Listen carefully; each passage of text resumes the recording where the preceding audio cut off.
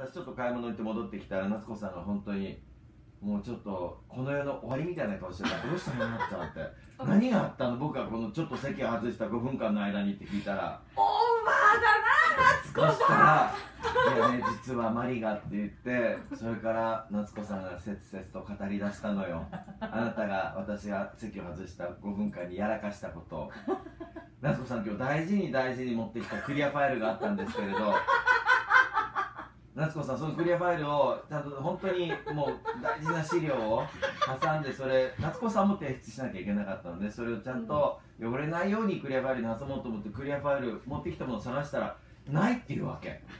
え？でさっきまであったのないなんてないでしょ？ってだってここにあったもん見ましたもんねみんなね、うん夏子さん持ってきてたもん前も見たよ。なんだったら僕も昨日そのクリアファイル夏子さんに渡したんだから、なくなるわけはないんだけどところがどっこいこの5分間でなくなってたわけ。よくよく調べてみたらうん。うんあんたが人に提出してはいけない写真を挟んで 封筒に入れてのり付けをしたのがそのクリアファイルだったの。よ自分で持ってきたわけでもないのに人のクリアファイル勝手に取って提出物を挟んで送るっていうこれ。あんたまだ治ってないのこの手癖 もう本当にごめん。違うなんで自分で持ってきたと思ったわけ？もん。あんた持ってきてないでしょ今日。どっから出てきたと思ったのこのクあの書類と一緒にクリアファイルついてたと思ってついてないか。らそれとセットさ。あるかそんなの。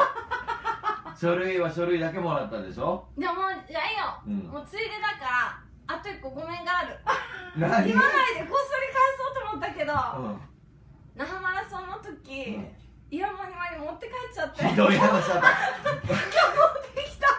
会社の機材だよそれモニター持って帰ったの あのシャカシャカに入ってて。なんだろうと思ったらピャって。あイヤモニ僕だ。2ヶ月前から探してるペンがあるわけ。後でカバン見る。ということでちょっとねやらかしてはマリさんと今日もお届けします。はいまあ身内だからよかったものなんで、本当に。これよそでやってたらね、手が後ろに回りますからね。前に捕まったってやつ、なんでクリアファイル取ってるんですカバンにイヤモニ入ってるし。いや、もうやって、どんどん出てくる。すごい。本当、ど日常生活にマンネリした主婦みたいな。